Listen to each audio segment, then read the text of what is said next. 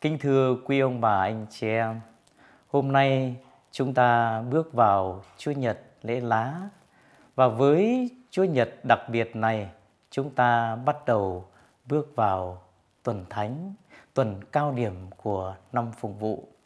Trình thuật tin mừng theo Thánh Marco mà chúng ta nghe hôm nay thuật lại cho chúng ta hành trình Chúa tiến vào Jerusalem để chịu khổ hình thập giá, một hành trình đan xen giữa niềm vui và nỗi buồn.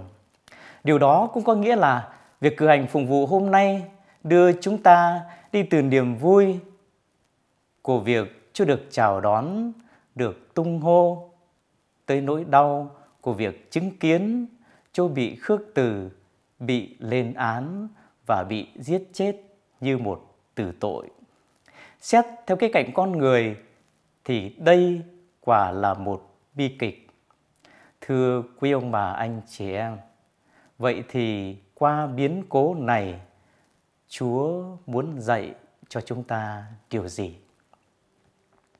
Bài học đầu tiên mà Chúa muốn chúng ta hiểu đó là thế nào là tình Chúa. Các bài đọc phụng vụ lời Chúa hôm nay phát họa cho chúng ta chân dung một Thiên Chúa đấng làm nên tất cả, đấng sở hữu tất cả, nhưng cũng chấp nhận chút bỏ và hy sinh tất cả vì yêu thương và cứu độ nhân loại. Một Thiên Chúa toàn năng chỉ vì yêu đã sẵn sàng chấp nhận trở nên bất lực để người đời hành hạ, tra tấn và giết chết. Một vị vua muôn vua đã chấp nhận chút bỏ vinh quang trên trời để sẵn sàng đón nhận mạo gai làm triều thiên, thập giá làm ngai vàng, cũng chỉ vì yêu.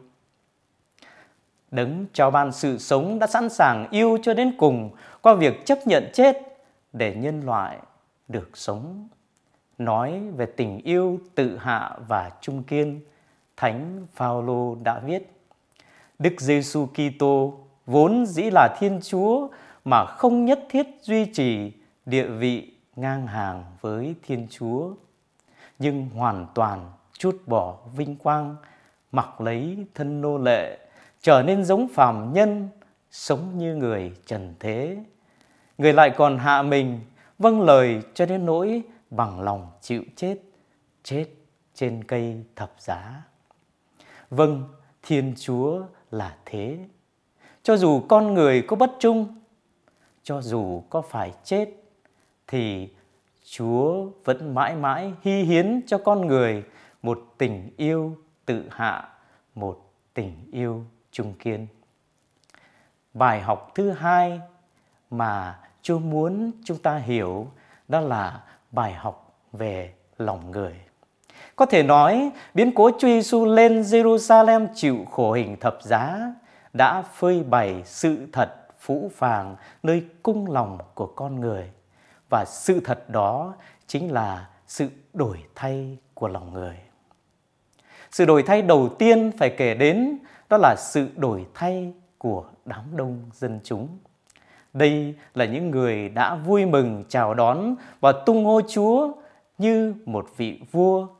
Nhưng không lâu sau đó, chính họ lại là những người khước từ Chúa và sẵn sàng buông lời lên án và kết án Chúa như một tử tội. Thứ đến là sự thay đổi của Juda, người môn đệ Chúa yêu thương và đã tin tưởng trao cho ông nhiệm vụ làm quản lý của nhóm 12. Vậy mà chỉ vì 30 đồng bạc, trong chốc lát, ông đã chấp nhận đánh đổi vị trí của mình từ chỗ là môn đệ của Chúa thành tên phản bội, dám cả gan bán chính thầy của mình. Rồi cũng đến lượt Phêrô, vị tông đồ được Chúa tin tưởng chọn làm thủ lãnh của nhóm 12 một người đã mạnh dạn thể hiện vai trò thủ lĩnh của mình khi thề hứa trung thành với Chúa. Dầu tất cả có vấp ngã đi nữa thì con nhất định là không. Dầu có phải chết với thầy thì con cũng không chối thầy. Vậy mà khi phải đối diện với những chất vấn của những người phụ nữ về mối tương quan của ông với thầy mình, ông đã thẳng thừng chối Chúa không chỉ một lần mà là ba lần. Chính sự nhát đảm đã làm tê liệt tình mến và lòng trung thành nơi ông, khiến ông biến mình từ một tông đồ trưởng thành kẻ chối thầy. Vâng, lòng người là thế, dễ đổi thay, thật khó lường. Hôm nay ủng hộ Chúa, ngày mai có thể chống lại Ngài. Thưa quý ông bà anh chị em, lễ lá có một khởi đầu vui nhưng lại có một kết thúc buồn.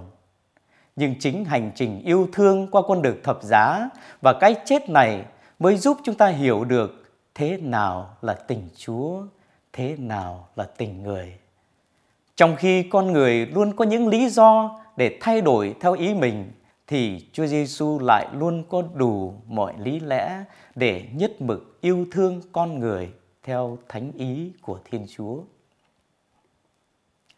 Bước vào tuần thánh, giáo hội mời gọi mỗi người chúng ta hãy cùng dõi bước theo con đường thập giá của Chúa Giêsu. Đó là con đường đau khổ nhưng cũng là con đường tình yêu tự hạ dẫn tới ơn cứu độ. Xin Chúa ban ơn giúp mỗi người chúng ta cảm nhận được tình Chúa để chúng ta mãi một lòng trung thành bước đi theo Chúa trong khiêm hạ và tin yêu. Amen.